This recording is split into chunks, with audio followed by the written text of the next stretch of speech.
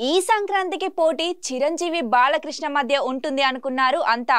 చిరంజీవి వాల్తేరు వీరయ్య బాలకృష్ణ వీరసింహారెడ్డి సినిమాలతో సంక్రాంతి బరిలో దిగుతున్నారు. ఈ రెండు సినిమాలపై భారీ అంచనాలున్నాయి.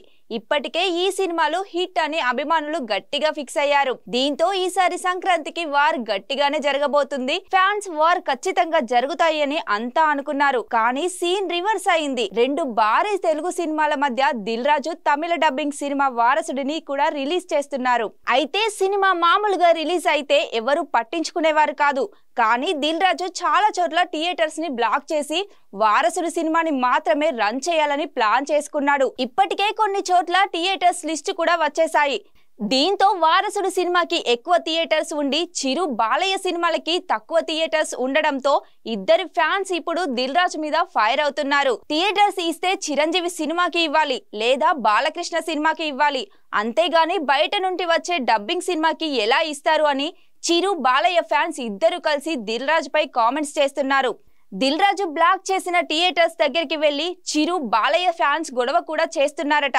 తమ హీరోల సినిమాలని రిలీజ్ చేయమని మొత్తానికి దిల్ రాజు వల్ల చిరంజీవి బాలయ్య ఫ్యాన్స్ కలిసిపోయారు. వారసుడు ఈ రెండు సినిమాలకి ఒక రోజు ముందే రిలీజ్ అవుతుంది కాబట్టి ఆ ఒక్క రోజు ఎక్కువ థియేటర్స్ ఇచ్చినా ఈ రెండు సినిమాలు రిలీజ్ టైంలో మాత్రం మాకు థియేటర్స్ ఇవ్వకుండా వారసుడు ఉంటే మాత్రం పరిస్థితులు ఇంకోలా ఉంటాయని చిరు బాలయ్య అభిమాన సంఘాలు డిస్ట్రిబ్యూటర్స్ థియేటర్స్ వాళ్ళకి వార్నింగ్స్ కూడా ఇస్తున్నారు.